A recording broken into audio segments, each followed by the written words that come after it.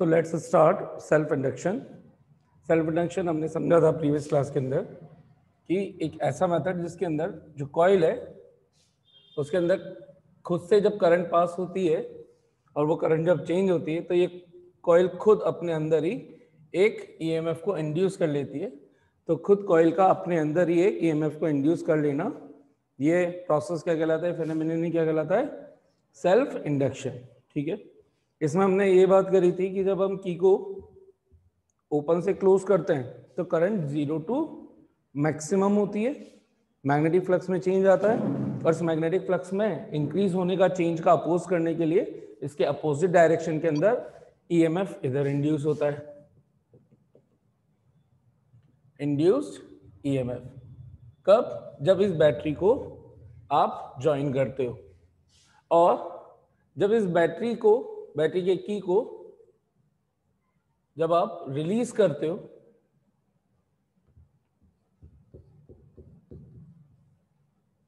अभी already join चल रहा है? ज्वाइन चल रहा है, इसका मतलब जिस टाइम पे स्टडी स्टेट के अंदर है। स्टडी स्टेट में जैसे आएगा ईएमएफ e क्या हो चुका होगा? ज़ीरो क्यों? क्योंकि मैग्नेटिक फ्लक्स में कोई चेंज नहीं हो रहा होगा। लेकिन जैसे ही हम इस की को ओपन करते हैं ओपन करते ही इसका जो मैक्सिमम फ्लक्स इसमें से पास हो रहा था वो क्या होना स्टार्ट हो जाएगा? सडनली ज़ीरो होगा। ज़ीरो होते ही मैक्सिमम टू ज़ीरो तो जो डेल्टा फाइव आएगा, उसकी वैल्यू मैक्सिमम हो जाएगी। इसका मतलब अचानक से इसका मैग्नेटिक फ्लक्स डिक्रीज हो गया उसको बचाने के लिए। इसके अंदर एक ईएमएफ इस तरह से सेटअप होगा कि वो इसमें फ्लो होने वाली करंट का सपोर्ट कर सके। तो इसमें इंड्यूस ईएमएफ की डायरेक्शन हो जाएगी इस डायरेक्शन में। दोनों ही सिचुएशन में ईएमएफ e इंड्यूस तभी होगा जब तक करंट में वेरिएशन हो। अगर करंट में वेरिएशन नहीं है तो ईएमएफ e भी इंड्यूस नहीं होगा। जब तक करंट का वेरिएशन है करंट होने से मतलब नहीं करंट के वेरी होने से मतलब है। ठीक है? तभी क्या होगा? इंडक्शन ईएमएफ इंड्यूस होगा। तो यहाँ पर अगर हम कुछ मैथमेटिकली कुछ चीज़ें डिफाइन करें तो सबसे पहले डिफाइन करते हैं हम यहाँ पर। Coefficient of coefficient of self inductance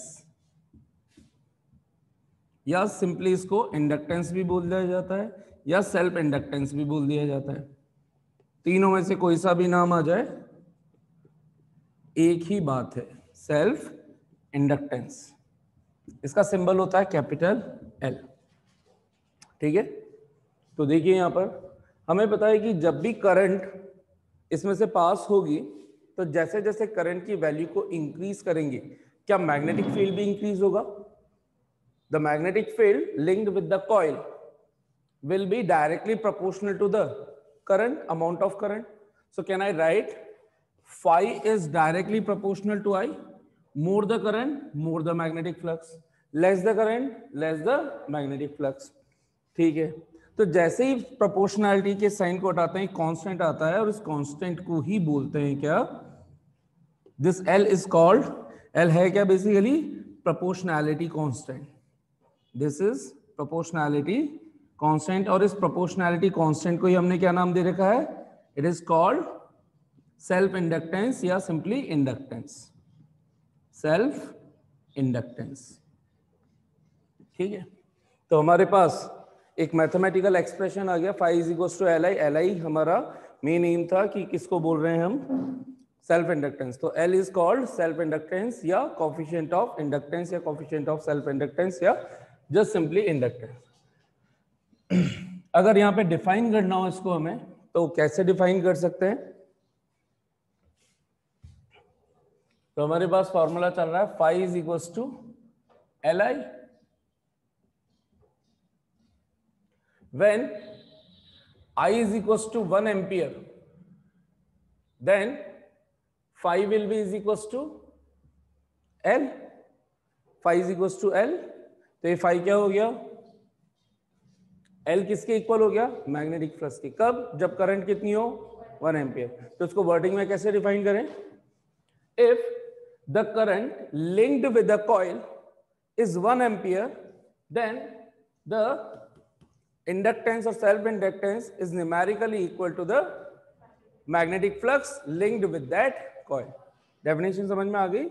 What is self inductance how do we define the self inductance is that much magnetic flux linked with the coil when the 1 ampere current flows through that coil simple ये definition हो गई। ठीक है? ये हमारा हो गया one part अब हमें ये भी पता है कि जैसे ही करंट वैरी कर रही होगी, इसके अंदर एक ईएमएफ इंड्यूस होगा एक ईएमएफ सेटअप होगा। And this induce EMF given by minus of d phi by d t minus of d phi by d ये बेसिक फॉर्मूला होता है according to Faraday and Lenz law phi की value अगर one से two में substitute कर दें हम तो हमें क्या मिलेगा? Induce E M F is equal to minus of d over d t of L I L तो लेकिन कांस्टेंट है वेरी क्या कर रही है सिर्फ़? करंट एल तो पहले ही बोल रखा है कि it is a constant proportionality constant जो कांस्टेंट होता है वो डिफ्रेंशिएशन के बाहर आ जाएगा।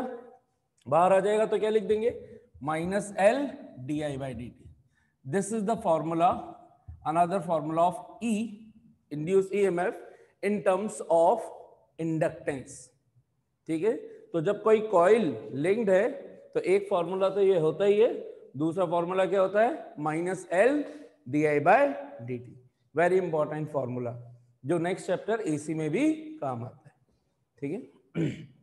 अच्छा साहब, अगर मुझे यहाँ से एल को डिफाइन करना हो, इस वाले रिलेशन से इसको बोल देते हैं three so when d I by d t is equal to one ampere per second इसका मतलब मैंने rate of change of current क्या ले ली? वन एम्पियर पर सेकेंड तो करंट हर वन सेकेंड में कितने से चेंज हो रही है? One ampere so rate of change in current is equal to one one ampere per second then e will be is equal to minus L minus तो सिर्फ़ क्या बता रहा है? कि ईएमएफ e अपने होने का अपने प्रोड्यूस होने का क्या कर रहा होगा? अपोज कर रहा होगा जिस करंट के थ्रू ये सेटअप हो रहा है। तो बा, बाकी माइनस का यहाँ पे और कोई यूज़ नहीं है। तो हम इसको अगर डिफाइन करें तो क्या बोलेंगे? कि जो एल है इंडक्टेंस है या सेल्फ इंडक्टेंस है वो वो किसके इक्वल है? इंड्यूस ईएमएफ के। कब? जब इस कॉइल से लिंक होने वाली करंट किस रेट से चेंज हो रही हो? वन एम्पियर पर सेकेंड से चेंज हो रही हो। तो इसको कैसे बोलेंगे?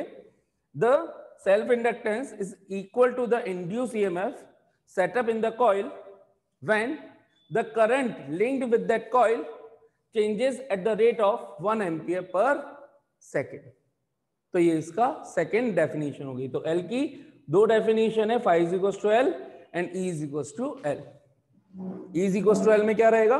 Rate of change of current unit rate of change of current तो rate of change of current क्या है? वन एम्पियर पर सेकेंड से चेंज हो। तो इसमें इंड्यूस होने वाला ईएमएफ e के इक्वल होता है कौन? सेल्फ इंडक्टेंस और ये क्या है? जब करंट वन एम्पियर ही फ्लो हो रही हो, यहाँ पे चेंज नहीं हो रही हो वन एम्पियर फ्लो हो रही हो तो जो भी इसका इंडक्टेंस होगा, वो क्या बोला जाएगा? उस कॉइल से लिंक्ड मैग्नेटिक फ्लक्स के इक्वल इज़ दैट क्लियर समझ में आती है बात? अच्छा सा। इसके बारे में अब कुछ पॉइंट क्योंकि हम इंडक्टेंस को as a physical quantity read कर रहे हैं। ठीक वैसे जैसे रेजिस्टेंस होते हैं कैपेसिटेंस होते हैं, ठीक वैसे ही हम एक फ़िज़िकल क्वांटिटी की तरह इसको ट्रीट करते हैं। तो अगर कर रहे हैं तो इसकी कुछ छोटे मोटे पॉइंट भी लिख लें। सो सेल्फ इंडक्टेंस या इंडक्टेंस इज़ अ सिंपली मैं इंडक्टेंस ही लिखता हूँ। इंडक्टेंस इज़ अ क्वांटिटी कैसी क्वांटिटी है ये?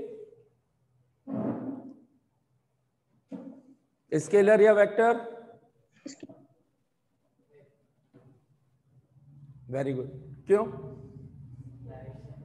अच्छा डायरेक्शन एल का फॉर्मूला अगर मैं पूछूँ, यहाँ किससे मिलकर के बताए? फाइव और आई से। फाइव खुद क्या होता है? स्केलर और आई वेक्टर तो नहीं होता।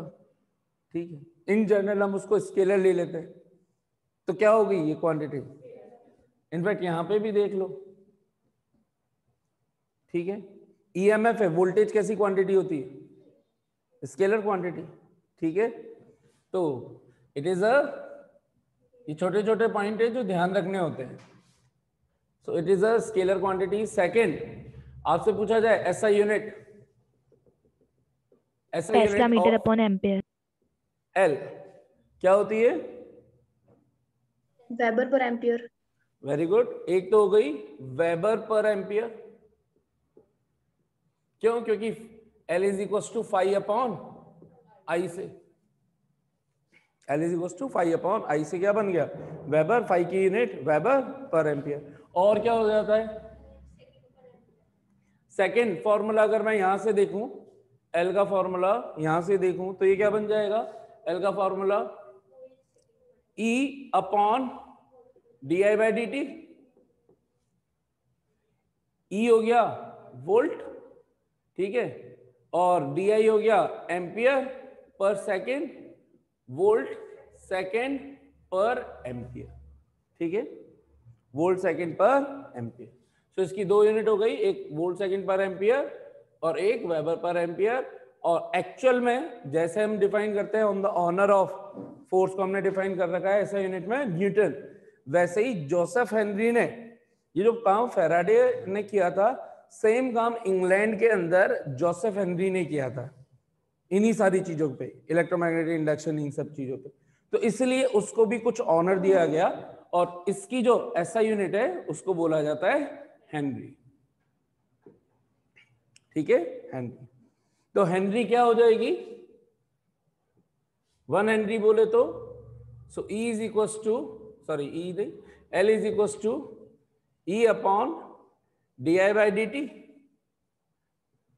when E is equal to one volt when E is equal to one volt and D I by D T is equal to one ampere per second then L will be is equals to 1 volt second per ampere and it is called 1 Henry.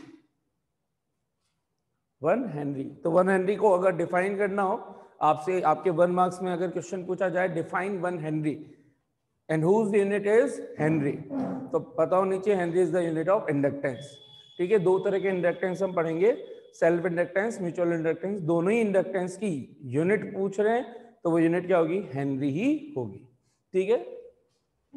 तो उसको define कैसे करें? One Henry किसके बराबर है? किसके equal होगी? जब इंड्यूस ईएमएफ कितने वोल्ट का हो? वन वोल्ट कब हो? जब कॉइल से लिंक्ड करंट किस रेट से चेंज हो रही हो? वन एम्पियर पर सेकेंड से। तो उसको डिफाइन कैसे करें? द इंडक्टेंस और self inductance of a coil is numerically equal to 1 Henry when a 1 volt of EMF is induced in a coil due to the change in rate of change in current at the rate of 1 ampere per second. So, या फिर when when the current linked with the coil changes at the rate of 1 ampere per second, then and if 1 volt of EMF is induced in that coil, then the inductance of that coil is said to be 1 Henry. Definition clear? कितने को समझ में आ गया भाई? हाँ भाई what will be the next point क्या लिख लेंगे? स्केलर क्वांटिटी होगी ऐसा यूनिट लिख डाली। नेक्स्ट क्या हो जाएगी? Dimensional formula what should be the dimensional formula of L M1 L2 T minus 2 A minus 2 M1 L2 T minus 2 A minus 2 very good M1 L2 T minus two A minus two आपको मैंने बता भी रखा है phi का dimensional formula याद रखने का तरीका एनर्जी पर एम्पियर या वर्क पर एम्पियर याद रखने के हिसाब से।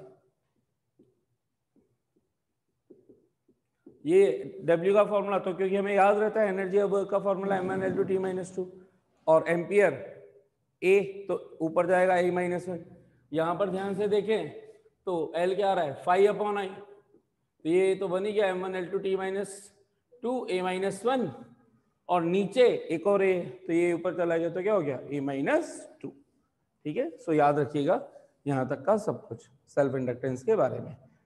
आगे बढ़ते हैं साहब आप। देखिए नेक्स्ट हम कर रहे हैं एक छोटा सा experiment to demonstrate self induction की सेल्फ इंडक्टेंस कहाँ पर आपको देखने को मिलता है एक्सपेरिमेंट के दौरान? तो मान लीजिए, हमने क्या किया? एक कॉइल ली। कॉइल बोले तो एक long solenoid which is bounded over a soft iron core तो ये मान लीजिए जो मार्कर है, इसको आप मान लीजिए क्या है ये? आयरन आयरन आयरन का सिलेंडर और इसके ऊपर मैंने insulated conducting wire copper wires को टर्न कर दिया बाउंड कर दिया। तो ये व्यवस्था, ये अरेंजमेंट इसको बोला जाता है, एक और नाम होता है इसका चौक कॉइल, ये वाली। ये जो सोलेनेट प्रिपेयर हुआ, इसका दूसरा नाम क्या होता है? चौक कॉइल, ठीक है? ट्यूबलाइट्स वगैरह के अंदर रहती थी चौक वगैरह, अब आजकल तो एलईडी ट्यूबलाइट्स आ गई हैं, चौक कॉइल। तो हमने एक बेसिकली एक सोलेनॉइड ली है लॉन्ग सोलेनॉइड और इसको सीरीज़ में कनेक्ट कर दिया बैटरी के साथ। एक लगा दिया इस पे की और एक लगा दिया वेरिएबल रेजिस्टेंस बोले तो रियोस्टेट ठीक है दिस इज़ द की ये बैटरी ठीक है सर अब इसको, इसके अंदर चेक करने के लिए कि क्या वाकई में ईएमएफ e इंड्यूस होता है? कि हम कैसे मान लें कि ईएमएफ e इंड्यूस हो रहा है? पता कैसे चलेगा? तो हमने इसके अंदर बोला था कि जब इसको ज्वाइन कर दिया जाता है ज्वाइन करने के बाद फिर से जब रिलीज़ करते हैं तो इसमें फिर भी करंट बनी रहती है। इसको जब हम ओपन कर देते हैं तो क्या होता होगा? ये ज्वाइन है, मान लीजिए, अभी करंट इसमें फ्लो हो रही है। अभी हमें दिख नहीं रहा कि इंडक्टेंस या ईएमएफ इंड्यूस हुआ, पड़ा था या नहीं हुआ था। लेकिन हम ये भी बोल रहे हैं कि जब इसको ओपन करेंगे तो इसके अंदर मैग्नेटिक फ्लक्स डिक्रीज होना स्टार्ट हो जाएगा। डिक्रीज होगा तो फ्लक्स में चेंज आएगा। फ्लक्स में चेंज आएगा तो एक ईएमएफ इंड्यूस होगा। ये सब कुछ थियोरेटिकली चल रहा था। इसको कैसे सम, हमें कैसे दिखेगा कि वाकई में ईएमएफ इंड्यूस e हुआ? है ये हमें थियोरेटिकल कॉन्सेप्ट के बेस पे बोला था कि जब इसको ओपन कर रहे होंगे रिलीज़ कर रहे होंगे तो ईएमएफ उस डायरेक्शन में इंड्यूस होगा जिस डायरेक्शन में ओरिजिनल ईएमएफ था। ये है ओरिजिनल ईएमएफ ओरिजिनल ईएमएफ के थ्रू करंट इधर जा रही थी। लेकिन जैसे ही मैंने इसको ऑफ़ कर दिया यहाँ की करंट तो एकदम से गायब। करंट जैसे इधर से गायब हुई इससे लिंक होने वाला मैग्नेटिक फ्लक्स तुरंत खत्म। तुरंत खत्म। तो ये कॉइल के अंदर वाले जो इलेक्ट्रॉन है, इस तरह से ओरिएंटेशन लेंगे कि एक ईएमएफ को इंड्यूस कर सके और एक करंट को फ्लो करवा सके। किस डायरेक्शन में? जिस डायरेक्शन में करंट खत्म हुई थी तो खत्म ना हो, यानी कि सेम डायरेक्शन के अंदर करंट को फ्लो करवाना चाहेंगे। ये तो था थ्योरेटिकल कॉन्सेप्ट यहाँ कैसे दिखेगा मैं तो हमने क्या किया? स्टार्टिंग के अंदर ही, अभी मान लीजिए भी ये ओपन है। ठीक है? अभी कोई करंट फ्लो नहीं हो रही। इसके पैरेलल में इंडक्टेंस के पैरेलल में एक कनेक्ट कर दिया बल्ब ये ए पॉइंट बी पॉइंट तो ये भी ए और बी के बीच में, ये भी ए और बी के बीच में। तो पैरेलल के अंदर बल्ब हमने कनेक्ट कर दिया। बल्ब कनेक्ट करने के बाद, अभी बल्ब ऑफ़ है, क्योंकि कोई करंट फ्लो नहीं हो रही कहीं से भी। हमने स्टार्टिंग के अंदर की को ज्वाइन कर दिया, यानी कि इसको स्विच ऑन कर दिया। स्विच ऑन करने के बाद ये रेजिस्टेंस हमारे पास वेरिएबल है रियोस्टेट है। इसकी हेल्प से हम इसमें से इत, इतनी ही करंट पास करेंगे जिससे जस्ट ग्लो हो जाए। यानी कि बहुत ज़्यादा ग्लो ना हो फेंटली ग्लो हो ठीक है? तो बिल्कुल लाइट डिम तरीके से ग्लो हो रहा है ठीक है? अच्छा था। जब हमने इसको ग्लो करवा दिया सर्किट पूरा चल रहा है सब कुछ है करंट इधर भी जा रही है उधर भी जा रही है ईएमएफ e वगैरह कुछ इंड्यूस हुआ होगा, वो हमें अभी समझ में नहीं आ रहा, दिख नहीं रहा। ठीक है? तो उसको देखने के लिए हमने क्या किया? इसको अचानक से सडनली इसको स्टॉप कर दिया।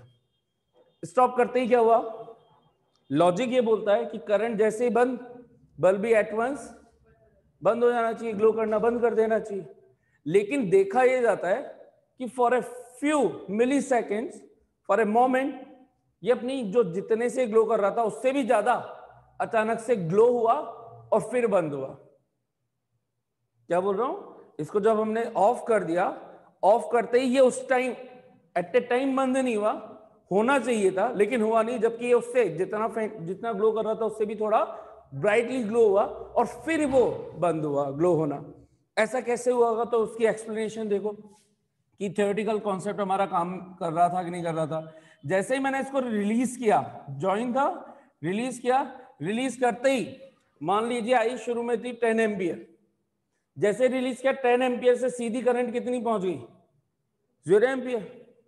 टेन एम्पियर से जैसे ही ज़ीरो पहुँच गया, जब टेन एम्पियर थी तो उससे linked magnetic flux was maximum. इससे लिंक मैग्नेटिक फ्लक्स मैक्सिमम था। मान लिया कि टेन ही था, टेन वेबर ही था, समझने के लिए सिर्फ़। टेन मैग्नेटिक फ़ील्ड लाइन्स या टेन वेबर था। जैसे ही मैंने इसको बंद किया, इससे मैग्नेटिक फ्लक्स टेन वेबर से तुरंत कितना आ गया? ज़ीरो आप मान लीजिए थोड़ा इन बिटवीन मान लीजिए टू आ गया। है ना? ज़ीरो आने से जस्ट पहले मान लीजिए, जिस टाइम पे आई, ताकि आपको ज़ीरो से कंफ्यूजन ना हो। टू एम्पियर टेन एम्पियर से टू एम्पियर ऐसे आ रही थी।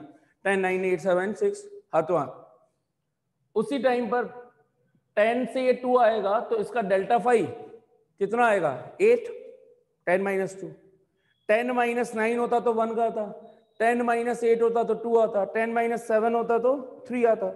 तो जैसे ही ये करंट पूरी ज़ीरो हो गई और ये वेबर भी पूरा फाइव वन से फाइव टू, ये भी ज़ीरो हो गया तो क्या हम बोल सकते हैं कि इस टाइम पे डेल्टा फाइव मैक्सिमम हो चुका होगा?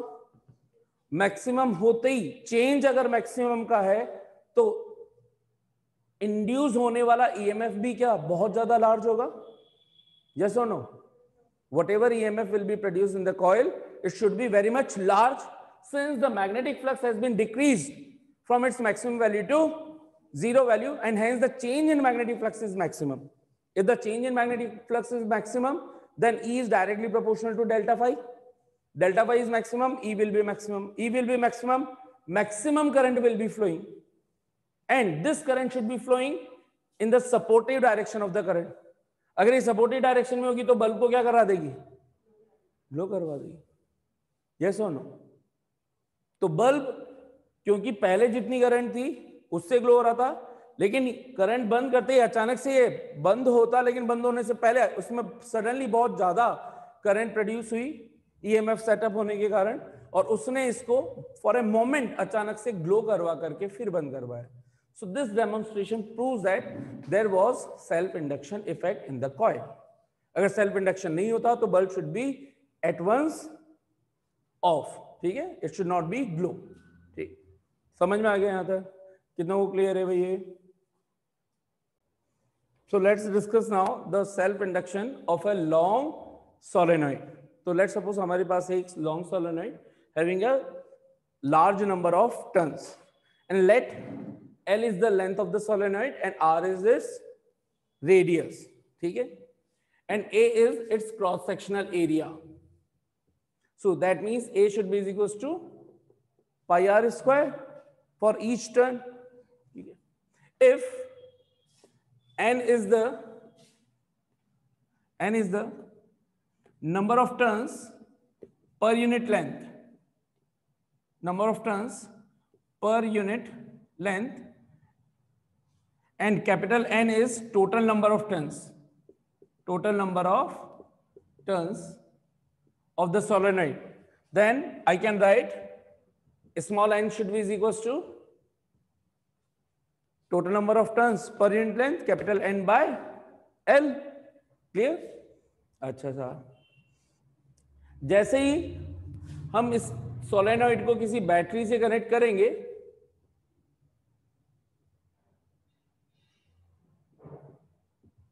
बैटरी से कनेक्ट करेंगे, क्या होगा? एक मैग्नेटिक फ़ील्ड सेटअप होगा और हमें पता है लॉन्ग सोलेनॉइड के इनसाइड जो भी मैग्नेटिक फ़ील्ड सेटअप होता है, वो कांस्टेंट होता है।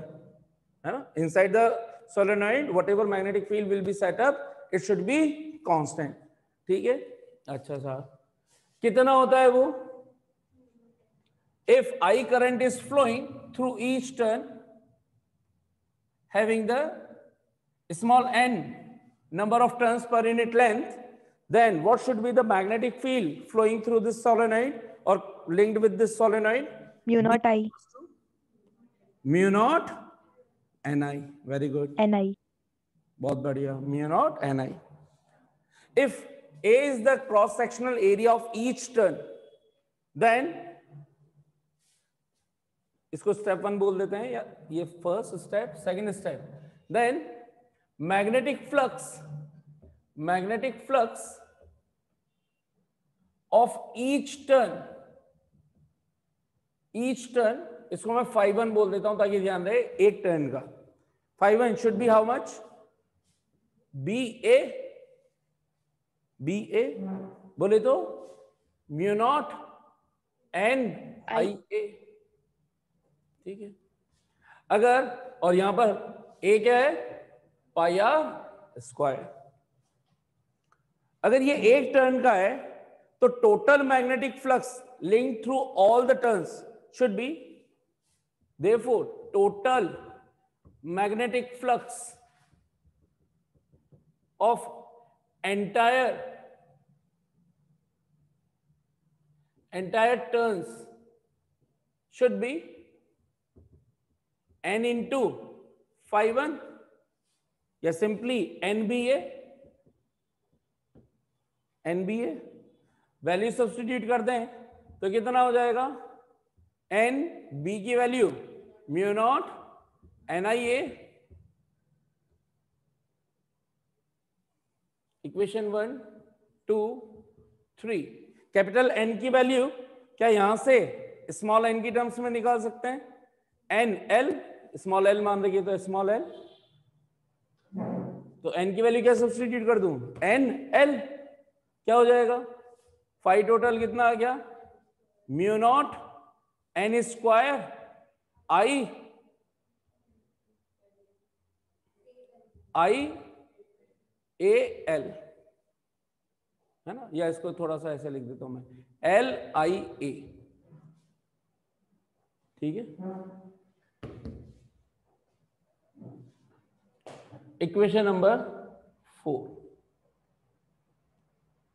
but we know that agar phi is the magnetic flux linked with the coil and if the inductance of this coil is L then what should be the relation? If L is the self inductance of the coil self inductance of the coil then then phi should be is equals to li. Li. Equation number five four and five दोनों ही total magnetic flux को represent कर रहे हैं जो associated है या linked है इस कॉइल से। So both should be equal what do we get so by four and five four and five we get क्या मिल जाएगा? L I is equal to mu naught N square L I A I से I cancel L की value आ गई क्या हमारे पास?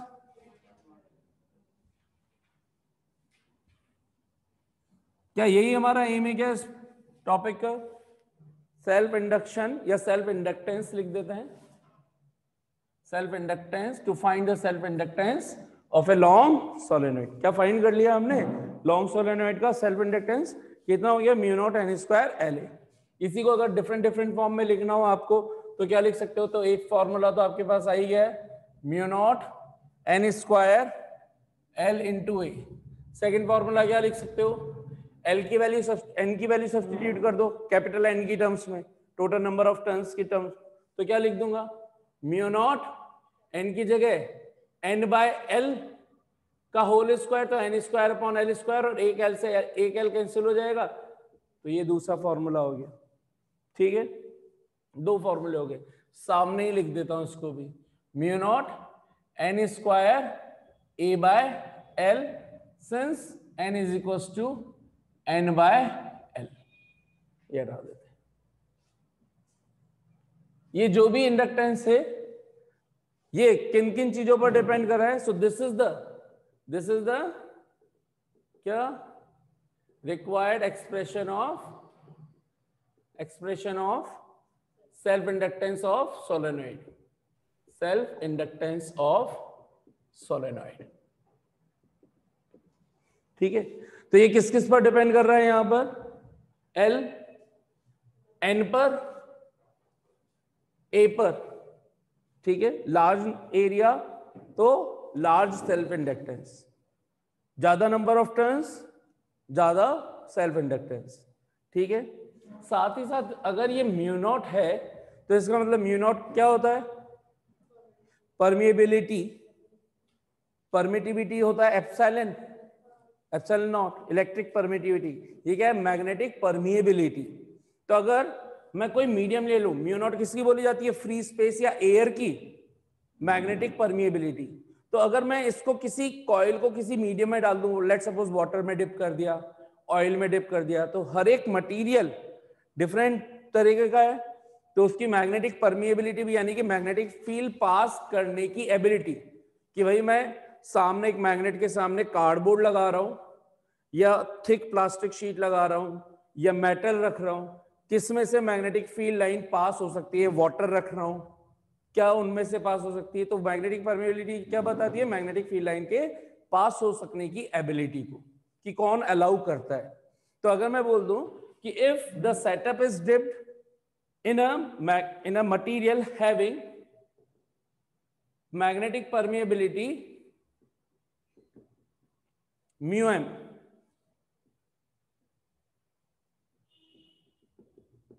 then, that time L should be is equals to instead of mu naught. What I need to write? Mu m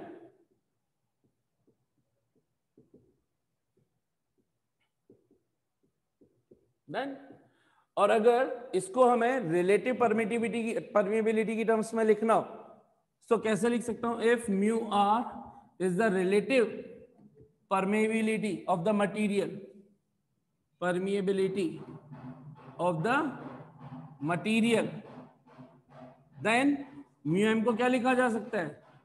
More mu naught into mu R substitute the value and we got the final answer mu naught mu R तो इसको ऐसे लिख दू mu R mu naught N square L A या mu R mu naught capital N square A by L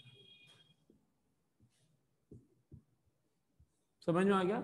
इसका मतलब किसी भी मटेरियल में इसको डालने पर इसका इंडक्टेंस म्यूआर टाइम्स बढ़ जाता है, या म्यूआर टाइम्स हो जाता है। ठीक है म्यूआर जनरली वन से ग्रेटर होता है तो इसलिए हम बोलते हैं कि डिप करेंगे तो इंक्रीज हो जाती है परमिबिलिटी कितनों को समझ में आ गया भाई ये पूरा टॉपिक आज की सवाल यही समाप्त होती है।